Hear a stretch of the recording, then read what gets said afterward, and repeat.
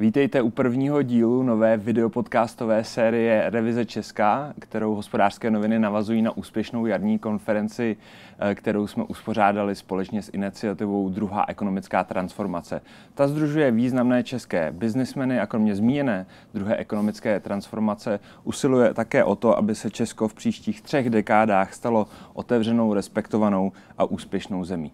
Moje jméno je Michal Mareš a naším úplně prvním hostem je Libor Winkler. Dobrý den. Děkuji za pozvání. Uh, Libor je český podnikatel a filantrop, uh, spoluvlastník investiční uh, skupiny RSE a také jeden z významných lidí v druhé ekonomické transformaci. Libore, na začátek otázka, proč se českým biznismenům, proč jim tolik leží na srdci naše blízká budoucnost, budoucnost České republiky? Tak ono, my jsme jako ti, co se podílíme na této ekonomické transformaci, tak se považujeme za biznismeny, kterým leží na srdci ta Česká republika, podnikáme tady, chceme tady dále podnikat a tudíž potřebujeme kvalitní podnikatelské prostředí. To znamená, nejsme ti, kteří by měli plán B, to znamená utéct někde do Švýcarska nebo nevím kde, a chceme být tady a zlepšovat podmínky pro podnikání tady v Česku a pro život občanů. Ty podmínky zatím teda nejsou ideální, na tom se asi shodneme. Nebo proč vlastně k té iniciativě došlo? No, ty podmínky ideální nejsou. Eh, mě tam třeba osobně motivovalo, motivovalo to, že to, co se často skloňuje, kdy se Česko nazývá montovnou Evropy, což není moc eh, cool výraz. Eh, potom se často diskutuje moderní stát. Víme, že tady všichni zápasíme s byrokracií regulací. To je jedna z věcí, no a ty tady máme udržitelnost, Green Deal, takže to jsou ty základní témata, které jsme si dali do pilířů tady ty do ekonomické transformace. Jak dobře máme našlápnuto, respektive jaký je potenciál pro tuhle změnu? No, tam bych, eh, já nejsem ani optimista, ani pesimista, já si myslím, že nějaké sebemrskačství není, není na místě. Také si nemyslím, že by Česko mohlo být někde na nějaký špici, tam jsme nikdy nebyli ve své podstatě. A teď si myslím, že zaostáváme víc, než je zdrávo. My jsme se vždycky chválili tím po revoluci, že jsme nějaký lídr vlastně těch zemí, které vlastně vyšly z té totality. Byla tady určitá pícha, že jsme nejlepší a to si myslím, že dnes už neplatí. Se podíváme třeba na Polsko, tak jsme prohospodařili ve své podstatě nějaký potenciál, který jsme měli. Hmm. V které oblasti nám nejvíce ujíždí vlak?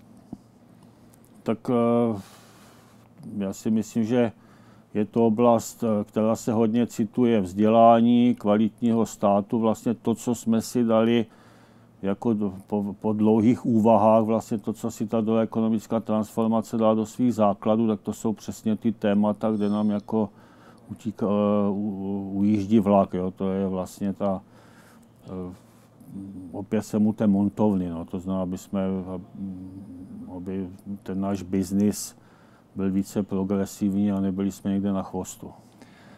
Vy jako biznismeni jste si různě rozdělili segmenty, do kterých se pouštíte, v kterých jdete do hloubky a snažíte se najít recept na to, jak znovu nastartovat Česko a být na špici minimálně v Evropě.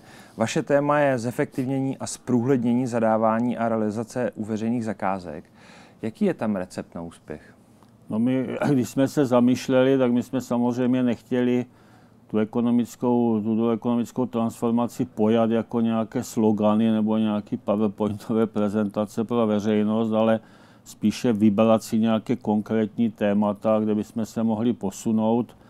Já osobně už v rámci různých neziskových skupin sleduji pár témat a když se objevilo to téma toho moderního státu, tak uh, jsem si říkal, že nejzásadnější, protože Eh, mnoho lidí to neví, tak eh, přes veřejné zakázky jde dneska 15 hrubého domácího produktu, což je 990 miliard korun, což jsou obrovské peníze, tak hovořit eh, o moderním státu a nemít pod kontrolou finance, to prostě nemůže fungovat. Stejně jako jakákoliv firma, pokud nemá zdravé finance, tak nefunguje. Takže proto jsem se zaměřil nebo zaměřil na oblast těch veřejných zakázek, kde mimo jiné spolupracují dlouhodobě s Datlabem, s panem Skůhrovcem a viděl jsem, že v této oblasti jsou hodně daleko. Uh-huh. Už je nějaký recept vymyšlený, je nějaký na stole, něco, co byste rádi prezentovali státu, v čem by se měl zlepšit? No ono, jak když samozřejmě o těch veřejných zakázkách se vždy hovořilo, ten problém se jako obecně věděl. Já osobně jsem si taky naivně myslel, že Eh, když se zavede systém eh, soutěže, to znamená, že zakázku vyhraje ten s, nejni, s nejnižší cenou, takže to jako bude fungovat. To byla taková ta první představa, protože já jsem zastánce, a to vychází z mé profese v eh, efektivních trhů, fungování trhu, tak jsem říkal soutěž, trh, že to bude, že to bude fungovat. No, potom se ukázalo, a sám jsem zažil jako spoustu konkrétních případů, že to nefunguje, když se soutěží pouze nejnižší cena, protože eh, může ten, ten vítěz eh, sice být cena nízká, ale velice nekvalitní ten produkt, který nabízí, potom se soutěží pořád dokola, ta soutěž nikdy nekončí, jsou to různé strategie, jak, jak podseknout tu soutěž s nejnižší cenou. Takže se ukazuje, že to nefunguje a když jsme se podívali po Evropě, tak, se zjist, tak jsme zjistili, že ten koncept té nejnižší ceny, jako když se ho držíme dogmaticky, tak nefunguje a že musí být jiný kritéria eh, pro ty veřejné zakázky, aby to fungovalo lépe. Já potom vím, že kolegové v rámci do ekonomické transformace, kteří se zabývají moderním státem, tak eh, často řeší otázku českého úředníka, jeho kvality a tady vlastně ten systém je nastaven tak, že kdyby tam byl eh, nadčlověk, tak to nemůže fungovat. Úředníkům dnes hrozí neustále nějaký trestní stíhání, když eh, nejde podle těch základních kritérií, takže toto je oblast, která si myslím je velice, velice důležitá které oblasti je ten tlak na tu nejnižší cenu vlastně nejzhoubnější? Možná mě napadají dopravní infrastrukturní stavby nebo no, IT služby. Ano, to, to, to se právě říká, to se, tam jsou největší peníze do, přes tu dopravní infrastrukturu a IT.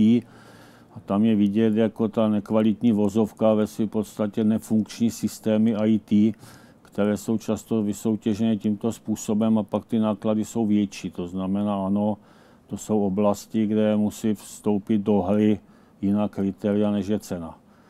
A, a to my, jsou jaká? No my, my si myslíme, nebo ono to nevychází z nějakých hlubokých filozofií, že pokud bude systém jako dostatečně transparentní, to znamená, i když třeba nebude dosaženo nejnižší ceny, ale široké okolí ví a dneska ta digitalizace je taková, že všechno může být veřejné, takže i ten starosta, nebo když vemu ty lokální, lokální soutěže, tak když ví, že to bude zveřejněno, tak si nemůže tolik a budeme vědět, kdo vyhrál a že to třeba byla firma nějakého jeho známého, tak jenom už to, že se na ty věci nasvítí, tak to je podle mě ta transparentnost eh, jako obrovský přínos do těch veřejných zakázek. To znamená, co nejvíce zveřejňovat věci, aby, aby to bylo dohledatelné a to, to, to často stačí k tomu, aby se tam neděli nějaké nekalé praktiky. V téhle oblasti určitě hodně pomohl projekt Michala Bláhy Hlídač státu. Souhlasíte? Ano, no, to jsou všechno jako projekty, ano, to je ta kontrola, hlídat věci, zveřejňovat věci, eh, mluvit o nich otevřeně, to znamená, ano, to jsou, to jsou přesně ty věci, které vedou k vyšší efektivitě. Je, je to ta transparentnost v podstatě. No. Kromě transparentnosti a také ne takovém dbaní čistě jenom na cenu, tak jaké další klíčové prvky by měly ty moderní vlastně tendry obsahovat? No my se snažíme, jako samozřejmě musí tam být nějaký dohledový, dohledový orgán, jako na tom vrcholku, eh, vrcholku ledovce, ale klíčové je prostě mít nějaké kvalitní metodiky právě v oblasti toho IT nebo i těch dopravních staveb, to znamená kvalitní metodika, transparentnost a pak samozřejmě na, na, musí tam být vždycky kompetentní úředník, který, který stejně jako si ve firmě hlídáte to, jestli ti lidi to vůbec jsou schopni časově zvládat některé ty věci, tak tady taky musí být někdo, kdo prostě posoudí, jestli ten úředník tam toho nemá takové kvantum, že kdyby, kdyby byl ten systém sebe lepší, tak se to nedá jako kvalitně dělat. Vy už jste tady naznačil, že úředníci mají často svázané ruce. Občas slyším eh, výraz, že jsou jednou nohou v kriminále hmm. při posuzování těch zakázek a rozhodování. Tak jak moc je to reálný problém? Jak moc se reálně bojí, že udělají drobnou chybu a půjde, no to, povede to, to, to, to tak jako je ve svým podstatě a proto se upínají k té nejnižší ceně, protože tam je to jedno číslo a tak dále. To znamená, je to tak, no, prostě odstranit ten strach, to bude velkou výzvou. No. Teď, teď je ta situace taková, jaká je a pokud se nezmění ty podmínky, tak lepší úředník jako takový to nevyřeší. Eh, čím by se Češi mohli inspirovat v zahraničí? Vy jste určitě dělali nějakou rešerši na tom, kde to funguje a kde to nefunguje. Tak... Ano, vlastně Datla má takovou mapu, takové barvičky a je vidět, že opravdu se jako zásadně ustupuje od, tě, od tého jediného kritéria, to je cena, které v té Evropě celkově bylo všude a my tam opravdu svítíme jako stát, který nejvíce sází na tu cenu. Jako jo, to nejsme jako jediní. Vím, že kolegové z Datlabu říkají, že hodně spolupracují s Rakouskem. Vím, že Velká Británie a Holandsko jsou v tom daleko už, to znamená, existují opravdu metodiky, kde se kromě ceny, jako které jsou nějak měřitelné, nějak kvantifikované, tak už na ty jednotlivé oblasti existují. To znamená podívat se, podívat se po Evropě, kde co je, kde, kde to jak funguje a inspirovat se tím. No. Máte nějakou konkrétní zemi jako ideální případ? Vím, že když jsem se právě připravoval na tento, na tento rozhovor, tak jsem se ptal kolegů, říkají, že nejvíce spolupracují s Rakouskem a inspirují se ve Velké Británii a v Holandsku. Uh-huh a detaily jsou spíše na nich, ale opravdu chcou jít cestou nevymýšlet kolo, ale inspirovat se venku. Hmm. Dokázal byste vypíchnout nějaké pozitivní, ale i odstrašující případy z poslední doby, z posledních let u veřejných zakázek? Tak eh, ono, aby člověk nebyl jenom kritický, tak ta, ta situace v těch velkých zakázkách, které jsou jako hodně pod světlem, se zlepšila. Tam vidíme, že prostě už opravdu zasahovaly trestní orgány v některých případech to znamená, tam už eh, se to čistí trochu, ale pořád je tady obrovské množství těch, eh, těch menších zakázek. Ono tam je často tlak tu velkou zakázku štěpit do menších a tam je potřeba fakt na to více posvítit, na ty, na ty menší zakázky a opravdu tam hodně tlačit na tu transparentnost. Takže jde to kupředu, eh, určitě Nedá se říct, že by tady nebyla politická vůle ty věci jako měnit, ale samozřejmě jde to pomalu, protože těch zájmů tam je spousta všelijakých, takže to je logicky, že ty věci nebudou kupředu rychle. Hmm. V jaké pozici vůbec druhá ekonomická transformace směrem ke státu je? Protože řekněme, že je to iniciativa, nemá to úplně přesný status hmm. vůči státu, tak si na to zeptat, jak moc vás vlastně stát poslouchá? No, já tam právě, pro mě je hodně důležité, jako pro mě osobně, eh, oddělení toho biznisu, protože samozřejmě biznis má své zájmy, generování zisku a tak dále.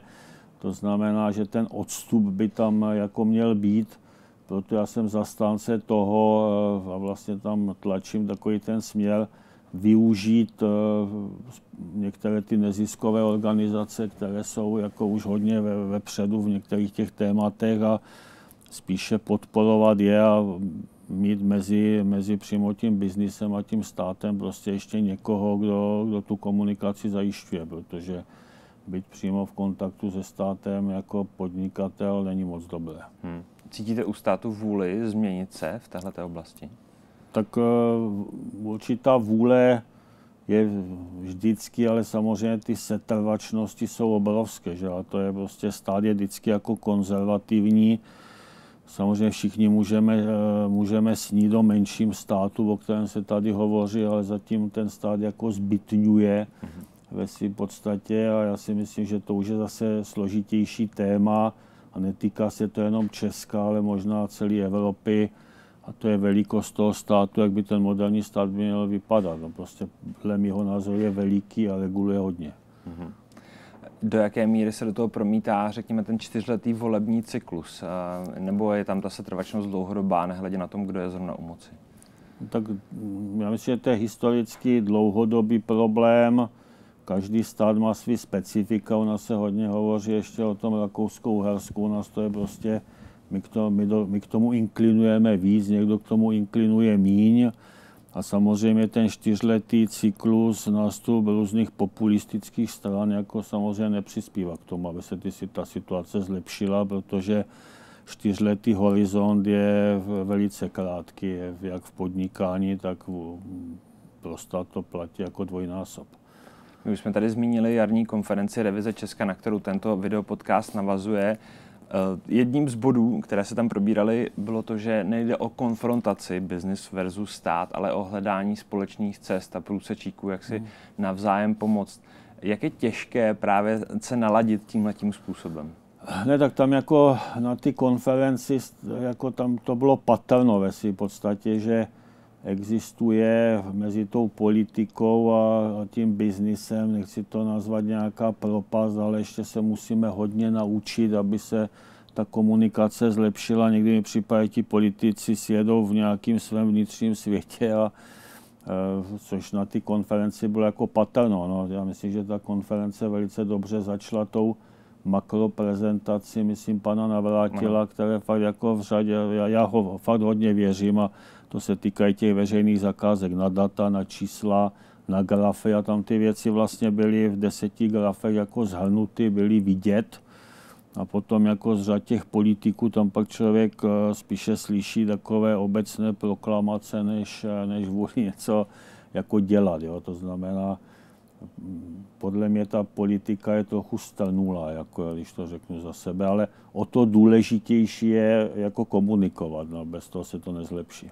Politici zase říkají, zase říkají, že eh, biznesmeni mají tu výhodu, že mají krátké rozhodovací procesy, můžou se rozhodovat do velké míry autonomně v mnoha případech, tak to oni nemají. Hmm. Oni jsou pod veřejnou kontrolou, dlouhé rozhodovací procesy, spousta hmm. procedur. Ne, to je jako chápu, já mám takové všude, kde, kde hovořím, moje jako životní filozofie, že funguje něco jako Gaussova křivka, to znamená, a chápu, že ta se projevuje v té politice jako významně, protože tam fakt Gaussova křivka, čím je tam více dat, tak tím je, tím je jako přesnější. A oni mají opravdu de facto se zodpovídají celému tomu národu, což je 10 milionů eh, voliči bez dětí, to, to samozřejmě těch je méně, ale je to 10 milionů lidí, 10 milionů zájmu, tak já chápu, že to u nich nejde tak rychle jako ve filmě, kde si můžu zvolit 50-60 eh, lidí, kteří mi vyhovují a dělat si to po svém. Jo? To znamená, vždycky jsem si uvědomoval, že řídit stát jako firmu je naprosto nesmysl ve svým podstatě. Já jsem mají skeptik, pro, aby se biznismeni nějak aktivně zapojovali do politiky. To je naprosto jiná disciplína, naprosto jiný zodpovědnosti a takové ty zkratky, které my si můžeme ve firmách dovolit, prostě v politice nefungují. Tak to já plně chápu tohle. Ale přece jenom jako nějaká snaha by tady mohla být, ale jsem v tom trpělivější, protože vím, že ty věci nejdou tak rychle. No. Říkáte, že by se biznesmeni neměli zapojovat do politiky. Nemůžu se nezeptat, uh, spoluzakladatel RSI Karel Janeček se zapojil do prezidentské kandidatury, tak jak jste, jak jste vnímal tenhle ten počin? Tak on už jako eh, de facto deset let už vlastně v RSI jako není aktivní, to znamená pokud, já si myslím, tak kolega Janeček je ještě mladšího věku, ale eh, obecně si myslím, že potom biznismen, biznismeni, kteří ukončí svoji dráhu ve své podstatě nebo biznisovou, tak by mohli být aktivní. Ono to chybí v mnoha oblastech, jako třeba i fundraisingu pro různé neziskovky, že ten biznis, že po té periodě biznisu by bylo dobré, kdyby pár lidí, kteří se na to cítí a jsou na to vodní, opravdu ten biznis ukončili ze vším všudy a potom eh, kultivovali trochu to prostředí, protože ten jejich pohled eh, opět v, tým, v tom Gaussovém rozdělení je jako důležitý, ale neměli by to dělat v době, kdy jsou aktivní v tom biznisu. Takže zapojení biznismenů po konci jejich biznisové kariéry bych vnímal jako velice užitečné. U nás i z hlediska ty cesty, že tady máme kapitalismus, nějakých 30 let, tak prostě ta generace tady není, ale do budoucna by to bylo velice vhodné. Ale říkám, ukončí biznis a pak tam jdi mudrovat do politiky. No. Karol Janeček ho částečně ukončil, odešel z RSI hmm. Investments, ale vlastně v jisté části RSI zůstal. Ale tak... pouze jako pasivní investor, no každému jako zůstane. Tam je to potom otázka nastavení těch trustů a na to jsou tady novináři, na to jsou tady, aby se podívali na ty věci, do jaký míry. To pak už by, to bychom pak řekli, že to může být jenom nemajetný člověk. Ono samozřejmě podnikání vás eh, diskvalifikuje od politiky vlastní a potom svým způsobem majetek. Jako, jo, si můžete říct, on má majetek, chce ho ochránit, má nějaký zájmy. To už hold patří k věci, proto by v té politice měla být celá škála lidí. Jako, no, prostě Nemůžou to být jenom nějací poustevníci, kteří jsou jako úplně čistí, takže to by taky nefungovalo. Jo? Prostě ať je to co nejlíp namixováno, nebo co nej, nejpestřejší eh, počet lidí. Jaký dopad měla Janečkova prezidentská kandidatura na, na RSE? Myslím si, že eh, velice malý. Potom samozřejmě, protože my se, ta regulace hodně pracuje s termínem politicky exponovaná osoba, takže ty věci si musíte hlídat, ale ten dopad nebyl zásadní. Z vašeho pohledu, tam se úplně na to, hmm. jaký jste z toho měl pocit, eh, že šel do té prezidentské kandidatury? Tak a jak my, my jsme se o tom jako otevřeně bavili, já jsem mu to nikdy nedoporučoval, já jsem mu vždycky říkal, hele, Kájo, zkus to nejdříve přes Senát se tam dostat, já si myslím, že vstoupit do toho, že do toho vstoupil hodně narychlo a dopadlo to tak, jak to dopadlo. No, ale já jsem určitě nebyl ten, který mu to doporučoval, aby to konal. Jako jo. Jeho, řekněme, počínání veřejná komunikace je poměrně výstřední. Vy zase naopak působíte dojmem relativně usedlého konzervativního biznesmena. Tak jak tohle to šlo dohromady? Tak já mám rád jako pestrost. Ono ve všem musí být nějaká, myslím, že ty věci se posunou ku předu, když eh, když vznikají střetem mnoha názorů, mnoha lidí, a to je vlastně v, v té politice by to tak mělo být, pokud tam nejsou už úplně extrémní tóny. Takže já myslím, že to nějak fungovalo no, v době, kdy ještě se Karel nevěnoval politice. Potřeba asi, pokládám, velká míra tolerance. Prosím? Že je potřeba velká míra tolerance. Jo, jo, jo, tak ono jako vždycky, aby spolu lidé vycházeli, tak ta tolerance tam musí být a toleranci považuji jako dávat někomu důvěru považuji za, v životě za hodně důležité a být dostatečně tolerantní, to je další, další věc, která je hodně důležitá. Když jste zmínil dávání příležitostí, tak vy v rámci RSE jste zapojili do akcionářské struktury několik zaměstnanců. Téměř zaměstnaneckých hmm. akcí je poměrně žhavé v poslední době. Je to něco, co Česku chybí. Mluví se o tom, že kdyby tady byly může to hodně pomoct zejména startupům, technologickým firmám v rozvoji. Jaký je váš názor na tohle?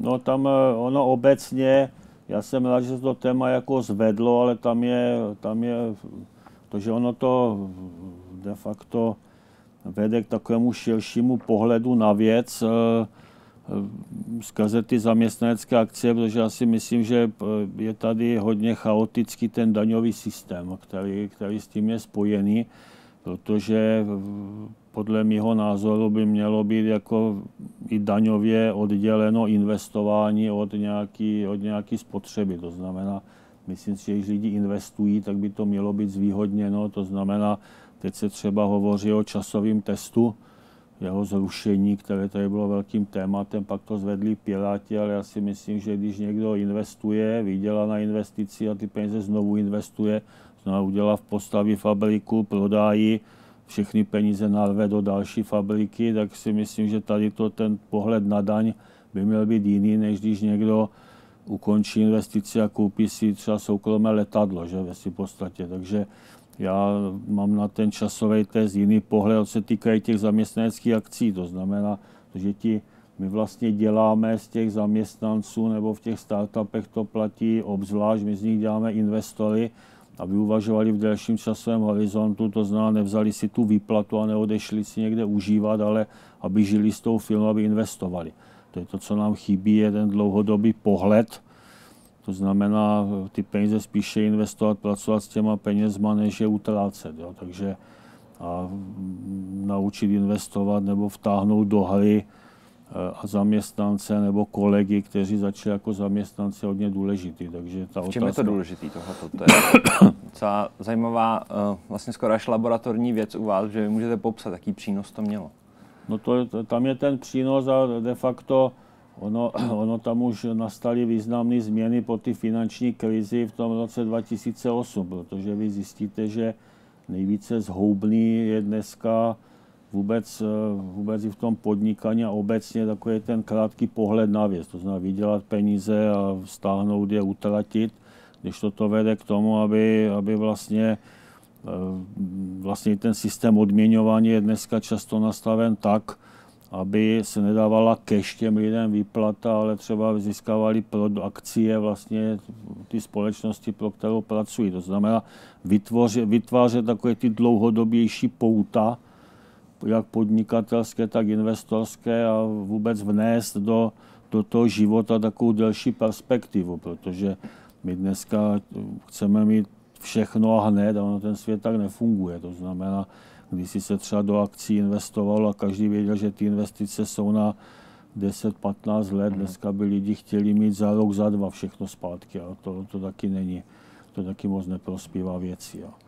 Vedle veřejných zakázek je vaším tématem i vzdělávání v Česku. Tak co se v této oblasti konkrétně děje, hmm. na co se zaměřujete? No, tam je de facto já to vidím trochu jiný případ, jak je u těch veřejných zakázek, kde jsem si to jako tak vnitřně vyhodnotil, že tam nám jako geniální úředník ve špatném systému nepomůže, tak eh, ve vzdělání jsem se potkal eh, se skupinou lidí, kteří tehdy spouštěli učitele naživo, tak tam i člověk z vlastních zkušeností si uvědomil, že ten systém jako se základní můžeme diskutovat, jestli má být jestli víceleté gymnázia jsou dobré, nebo ty děti by měly být pohromadě, neizolovat eh, i elity, jako už tak brzo. To jsou jako zásadní otázky, ale budíš diskutujme o nich, ale aby se ten systém jako mohl rychle změnit, tak tam tím středobodem je opravdu ta osoba toho učitele. Eh, potom eh, vlastně jsme to diskutovali, tak já jsem tam i vnesl otázku jako ředitele, z vlastní zkušenosti, protože jsem ještě gymnázium absolvoval za totality a vím, jak persona ředitele, byl jsem v Ostravě, dokázal změnit tento gymnázium, který on prostě zastřešil tu školu eh, částečně proti tomu totalitnímu tlaku. Eh, vzal si tam tehdy učitel, který byl 68 vyhozený, tak tam jsem si uvědomil, že i ten ředitel je ve v podstatě důležitý. Tak tam se to vlastně celý ten systém je o tom, toho ty změny, jako pracovat s tím ředitelem a s tím učitelem, to znamená jako s těma konkrétníma lidma, že ten systém je nějak nastavený a nějakým způsobem funguje. Takže to je středobo, zlepšit podmínky, ty pedagogické fakulty se na to zaměřit. Tam já vidím jako největší kámen úrazu. No. Hmm. Jste taky jedním z velkých podporovatelů české vědy, tak jakým právě ona může způsobem přispět k transformaci hmm. naší republiky? No tak ta věda, já jsem teď byl nedávno na nějaké konferenci, byl tam profesor Smil a když jsem se pak bavil v kuloárech, tak všichni říkali, že to je starý, on, tak já nevím, on už má myslím přes 80, že to je vlastně starý pesimista, že všechno je špatně a tak dále, že nevěří jako a když jsem to pak jako tak nějak zhrnul, tak mnoho si myslel, že nevěří na to, že opět vědecký pokrok ty věci vyřešit. To znamená, že my jako eh, strašně věříme na to, nebo ta naše mladí lidi, nebo i ta naše západní civilizace, že máme problémy, ale věda vše vyřeší. To je prostě takové, to mnoho lidí v sobě má. A to je takový ten známý vtip, jak se ten člověk pořád modlí k eh, Bohu, aby vyhrál a pak on mu se otevřel nebesa a on říká, jak si Kuba, aspoň ten los, jinak nevyhraješ. To znamená, my jako věříme strašně v tu vědu, ale že bychom ji nějakým způsobem jako podporovali. Nebo jako to taky moc ne. My si říkáme, to, to dělají někde jinde, je to vlastně otázka nějakého zbrojení, kde si to teď, nebo obrany, když to teď po ty ruské agresi nějak uvědomujeme. Takže ano, všichni jako na tu vědu strašně spoleháme, protože ten náš systém, buď se vrátíme, budeme tady žít jako amiši, což jako taky neříkám, že není jedna z cest jako, nebo půjdeme kráčet po té naší cestě, po které jsme se vykročili někdy z toho starého Řecka a potom ta věda bude jako fakt hodně klíčová. Jo? To znamená, eh, věda by si zasloužila větší podporu, to znamená více peněz jako z rozpočtu, ale zatím to klima je takové, jaké je ve svým podstatě. To znamená, preferujeme se mi dobře tady a teď a věda je hodně, hodně o budoucnosti a to, tyto témata jako nejsou populární moc. No. Kromě vědy podporujete také umění nebo třeba nezávislou žurnalistiku. Patříte k jedním z nejvýznamnějších filantropů u nás. Řekl byste, že peněženky a srdce movitých Čechů se v poslední době otvírají víc? Tak eh, nemám, nemám nějaký statistické, statistická data, ale samozřejmě je logické, že když bude víc peněz, víc bohatých lidí, tak když by to bylo pořád procento, tak nějaké, tak procento z větší částky, je, ta částka je větší. Já si myslím, že taky vlastně ty iniciativy umění darovat, že jsou velice důležité. Jak jsem tady zmínil, takový ten vstup těch biznismenů, kteří, jak znovu opakují, ukončí biznis a jdou do ty politiky, tak potom i těchto lidí, kteří vlastně ukončí tu aktivní kariéru toho podnikání a třeba pomůžou i v tom fundraisingu, zapojí se víc do těch filantropických věcí, tak to tomu taky pomůže. Takže my ještě potřebujeme trochu více času. Nemám statistiku, jestli jsme větší skrblíci, jak eh, kolem nás v Evropě, to nevím, ale samozřejmě si myslím, že by se, že té filantropie, nejsem spokojen s tou mírou, jako, ale musíme být optimisté. Říká Libor Winkler, spolumajitel skupiny RSE a také host eh, našeho prvního dílu ve videopodcastové sérii Revizi Česka. Děkuji moc, že jste přišel. Děkuji za pozvání a za rozhovor.